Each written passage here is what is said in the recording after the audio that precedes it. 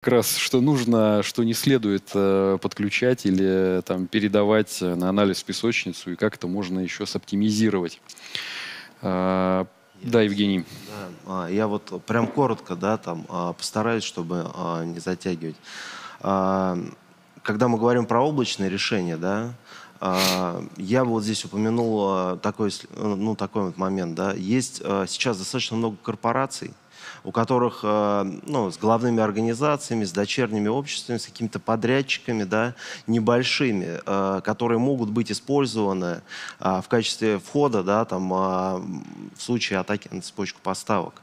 Вот. То есть облачные истории, да, это может быть какой-то интегратор, не интегратор, ну, условный интегратор, какая-то, какое-то юрлицо или компания, или просто ну, такой центр компетенции, да, в котором есть, а, грубо говоря, мощное такое а, решение, к которому можно подключать, да, и в которое можно использовать в качестве, так скажем, облака, да, для вот этих вот дочерних, потому что они часто соединены какой-то общей корпоративной сетью, может быть, там ограниченного использования, да, но, в общем-то, каналами связи какими-то общими.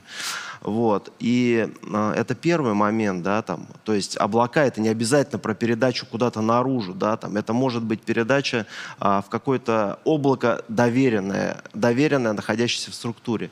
И второе, вот э, с точки зрения вопроса про альтернативные решения, да, ведь куча мелких компаний, в которых, э, в общем-то, кроме антивируса и то э, встроенного там типа Defender, да, там у них просто ничего нет. Вот. Что делать с ними, да, там они являются, опять же, поставщиками там для кого-то, да, ну, бумагу там возят и используют чаще всего там для обмена там э, документами, там, в том числе договорами, да, электронную почту и являются для, ну, так скажем, целевых, целевых э, компаний, являются, так скажем, доверенными, э, доверенными каналами там, да, получения.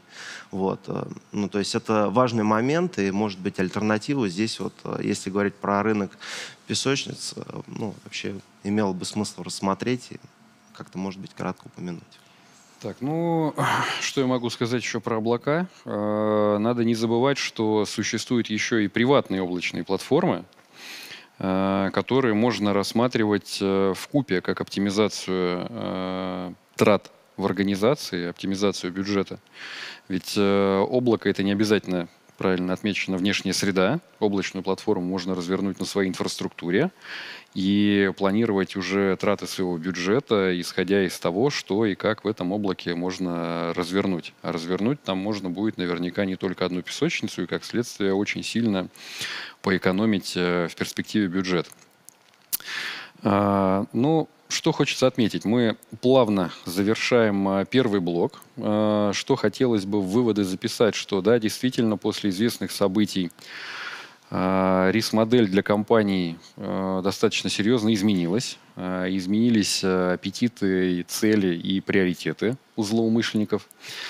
Как следствие, изменились, соответственно, параметры там, окупаемости инвестиций для тех, кто решил э, срочно либо покупать с нуля, либо пере, э, э, какие-то другие, ну, в частности, отечественные решения. Отдельно стоит отметить, что в целом рынок отреагировал положительно, и у нас есть из чего выбрать.